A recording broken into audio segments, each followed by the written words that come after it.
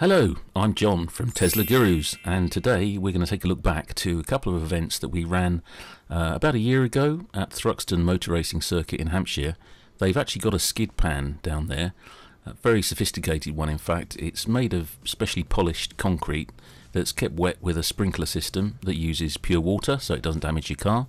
And we took a couple of groups of Tesla owners down there to try their cars out, see what it was like in simulated winter conditions and we had a variety of tyres on those cars so it was quite interesting to see exactly how they handled what grip they got. You'll see later on we did some stopping distance tests which were particularly interesting. So I thought I'd go back and have a look at these videos again with you and just talk you through them what we got up to and maybe we can learn something from it. Now one of the big questions that always comes up every year in the winter time in the UK is winter tyres do we need them here? And the question really is not an easy one to answer because it depends where you live. If you were to live in the Highlands of Scotland and you're expecting, uh, you know, a few inches or a few feet of snow, even a few days a year, then you could very easily benefit from full winter tyres. If you live in the south, then maybe all season tyres are a better choice. But I think what I want to show with this video is that actually you don't need snow to benefit from all season or winter tyres.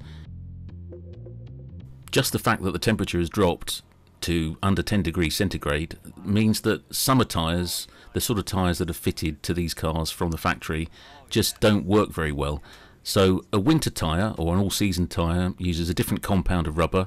Also the design of the tread is optimised for wintry conditions and it'll give you a lot more traction and grip even in the dry when the temperature is cold. But in wet conditions, in freezing temperatures, the difference is even more clear. So we wanted to set up a test that would show how the tyres that these cars came on performed, and we can also compare them against a couple of cars that had all season and winter tyres fitted. So we ran some stopping tests. Uh, the cars accelerated up to 30 miles an hour. We put a cone on the course, and when you get to that cone, you hit the brakes as hard as you can, try and stop the car in the shortest distance. It's important you hit the brakes as hard as possible so the ABS engages, and that way it's the tyres that we're measuring, not the braking system. So let's start with the results from the Model 3s, and as you can see, I, I should have used a wider lens. I didn't really expect them to go quite that far. There, there was a little variation between the cars, and um, even on the same tyres, probably tread depths, um, but uh, even then, most of them just sailing on by. Uh, the last car we've got will come up in a second, and as you can see, that's uh, significantly shorter. Surprise, surprise, that had the full winter tyres fitted. We also had four Model S's that day, and they're a slightly heavier car, so we might expect them to go further. But in fact, on the Michelin PS3s that this one was fitted with, it was about the same as the worst Model 3.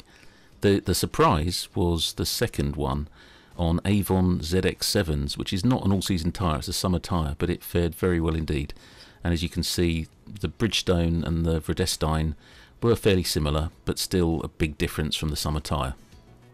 About a month later we went back to Thruxton for another day with another group of Tesla owners, this time mainly Model 3s, but we did have one S there. And a similar idea, we were stopping from 30 miles an hour, braking at the cone and just seeing how far they go. And this time the graphics were a little bit better and I used the wide angle lens I've learnt from my mistakes. So started off with the um, Michelin Cross Climate, which is an all-season tyre, and the Bridgestone Weather Control. So the orange lines are all-season tyres. The blue is a winter tyre, full winter tyre. The Goodyear Ultra Grip, which is uh, not a common tyre, but it still fared well. And now we're going to get back into the summer tyres, the uh, Michelin Pilot Sport and the Michelin Pilot Sport 4 and as we can see that already the summer tyres are not faring very well in these conditions. The, the skid pan at Thruxton is, as we said, polished concrete and it's kept wet, so it probably simulates something like a wintry, icy uh, road rather than sheet ice or packed snow, which means that it is actually quite good at doing this sort of comparison. Uh, we would expect a summer tyre on sheet ice or snow to probably go twice as far as this, but these are the sorts of conditions that you're likely to find in the UK uh, in, in the winter. So with all our cars completing the test, we can see in relative terms from these graphics how the summer tyres are a lot worse than the blue winter tyre or the orange all-season tyre. But what does that actually translate to in terms of distances?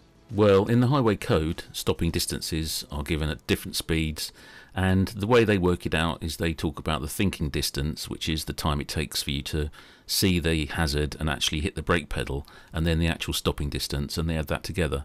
Now, because we've used a cone here as the point where you press the brake pedal, we don't need to worry about the thinking distance. We're just going to concentrate on the stopping distance. In the dry, that stopping distance from the highway code is 14 metres. They suggest doubling it in the wet to 28 metres and multiplying by 10 on ice to 140 metres. Now, as I already said, the conditions on the skid pan are not like sheet ice, so we're not expecting those sorts of distances. But uh, certainly they are um, worse than a normal wet road. And so what we actually saw was a difference of 30 metres between the summer tyres and the all seasons or winters. And 30 metres, think about it, is quite a long way when you're trying to stop your car in an emergency situation. So my view is, in the winter time, I think it's a good idea to consider all season or winter tyres. It really could make a difference between you having a nasty accident and being able to stop your car in time. And if you want more information on winter tyres and tyres generally, I, would recommend a very good channel called Tyre Reviews. I'm going to put the link up at the top there and also in the description below. So that's the end of our stopping tests at the skid pan. One of the other things that we got up to while we were there uh, was to try our own Model 3 performance in various different modes. One of the things that's very good about Model 3 is that you've got some adjustment you can make to the uh, steering feel, the acceleration, and in previous models you could also select low and standard regen, although that has changed recently. But the beauty of going to a skid pan is that you can try out various driving techniques. Uh, you can try out any adjustments that you can make on your car uh, in complete safety and get a feel for what your car is like when wintry conditions come along. And if you're lucky enough to have a Model 3 Performance, you can put it into track mode and you can play around with various settings, including dialing down the stability control, as I've done here, to minus 10. Makes it a little bit more of a handful, but as you can see, it's still very controllable um, and it's definitely worth trying this out on a skid pan if you can. I wouldn't recommend trying it on the road though. You'll see on the graphic in track mode that the tyre slip is being displayed um, and you can actually see how much grip you've got on each individual tyre. It's quite interesting. So um, the other thing we tried was putting the handling biased all the way to the rear. Uh, this doesn't actually put all the power to the rear wheels all the time as some might think, and you can see that from the way the front tyres are actually lighting up there. The the power is still distributed between the front and back, but it's just a little bit more rear biased, um, and obviously that will give you a little bit more fun on a skid pan. So that's the end of our look back at the skid pan days we ran about a year ago when you could still do these sorts of things. We will be doing more of these though, um, and subscribe to the channel to find out about those when they're announced.